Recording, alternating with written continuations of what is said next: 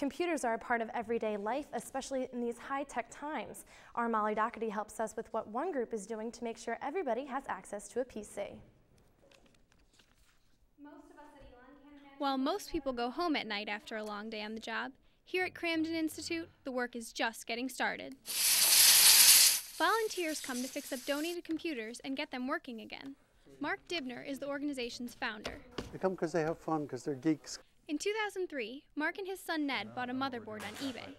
Dibner is a biologist, so he had no tech experience. But they managed to make a computer from scratch. Ned turned to me and said, this was a lot of fun, but um, there's a whole bunch of kids in my school who can't afford computers.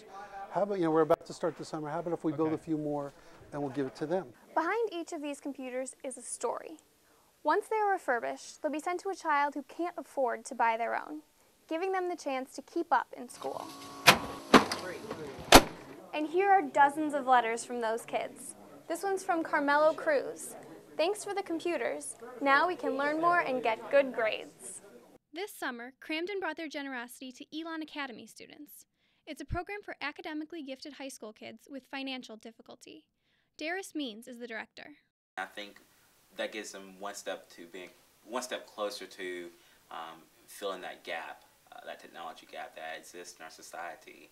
And these days, it's so important to have a computer at home. I think it's critical. You can't live without it anymore. Ethan Glenn was lucky enough to grow up with a computer at home. He volunteers at Kramden now to give back to the community. Participating in society, you need to know how to use a computer, and having one at home is how you really get familiar with it. Kramden hopes to grant that familiarity, helping students to excel both in their schoolwork and in society. Molly Dougherty, Phoenix 14 News, tonight.